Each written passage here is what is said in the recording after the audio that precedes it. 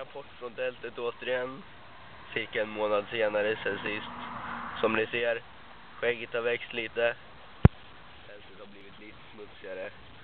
Och vi är erfarnare än någonsin. Eller vad tycker du? Här är våra grejer. Där ute har vi ett litet utrymme för grejerna. Fina tältet. Ett Hillebergtält, mycket fint. Där ute är det några stenar av något slag som vi har slagit upp tältet vid. Inte sådär jätteflexibelt. Där hänger strumporna. Det blir en telefon, lite vatten. Som vanligt, en bok. Eh, ja. Det var väl allt. Vill ni veta mer? Bara skriva en fråga i gästboken så kommer jag svara efter bästa förmåga. Ha en mycket bra dag. Hej då.